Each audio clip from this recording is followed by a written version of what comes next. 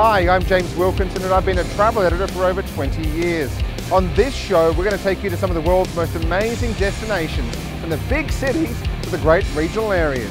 We'll go inside some of the world's best hotels, bars, restaurants, museums, airports, and much more. Welcome to Wayfarer.